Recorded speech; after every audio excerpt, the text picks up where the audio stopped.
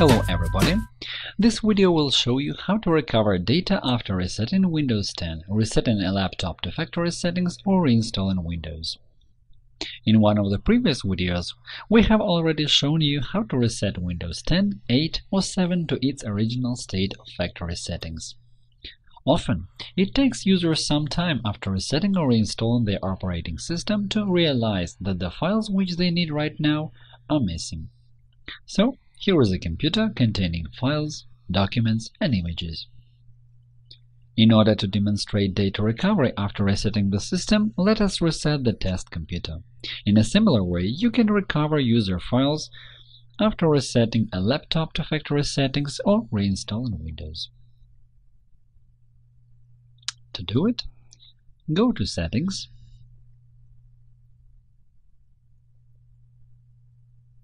Update and Security, Recovery. Click on Get Started in the submenu Reset this PC. Select the option Remove everything in the window that appears. The system will be reset automatically. In the process, the computer will restart several times, and of course it will take some time. To complete the reset, some additional settings are required.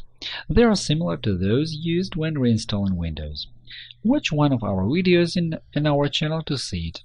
Find the link in the description. The system has been reset and the files stored in this computer are lost. After reinstalling Windows or resetting a laptop to factory settings, you will have the same situation. In order to restore files lost after system resetting, reinstalling Windows, or resetting a laptop to factory settings, do the following. Download, install, and launch Hetman Partition Recovery. To do it, go to the developer's website and download it for free. Find this link in the description.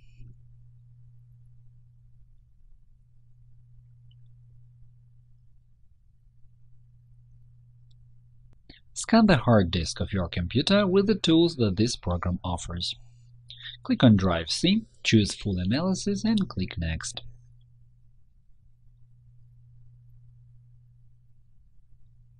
Remember that in Windows 8 or 10 the default location to save all documents and user files is the folder Documents, which can be found in Disk C. Images and photos go to Pictures folder, downloaded files to Downloads folder, and desktop files to Desktop folder. You should start looking for lost user files in these directories first. The paths to them will be given in the description of this video.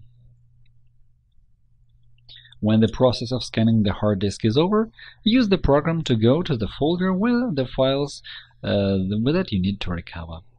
Lost files can also be located in the program's folder Lost and Found or Content-Aware Analysis.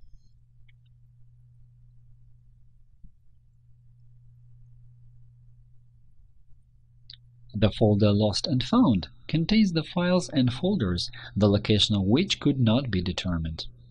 Make sure you check this directory if you can't find the files in their original location. The program searches for deleted files not only from file tables, but based on their contents as well. Using a complex analysis of the disk contents, the utility finds signatures that identify the beginning and end of a file. Files found in such manner are placed in the folder Content-Aware Analysis and sorted into folders by file type. Drag the necessary files to the recovery list and click Recovery.